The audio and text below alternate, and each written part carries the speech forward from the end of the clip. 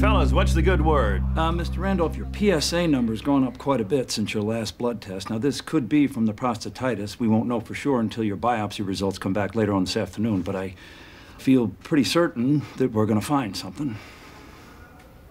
Oh, for God's sake, Catherine, stop making a scene. I'm sorry, doctors, but she gets a little emotional. Are you two wasps? Episcopalian. Why?